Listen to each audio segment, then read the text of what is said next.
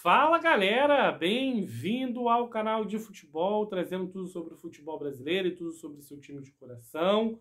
John Kennedy, né, vem caindo nas graças aí do torcedor.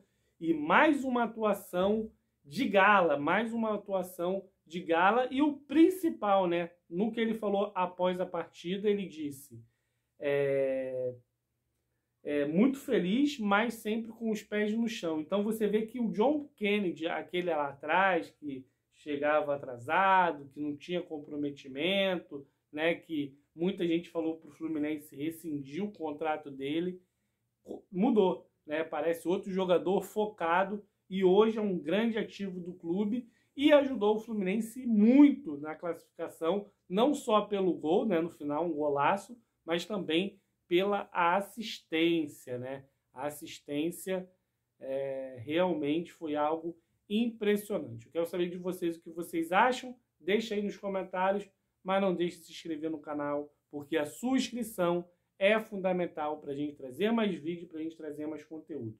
Um achado, né, dentro desse elenco do Fluminense, o John Kennedy, que no início do ano a gente arde de lembrar, né, que ele estava no Ferroviário e muita gente acreditava que era o fim desse jogador e hoje brilha na Libertadores da América. Abraço!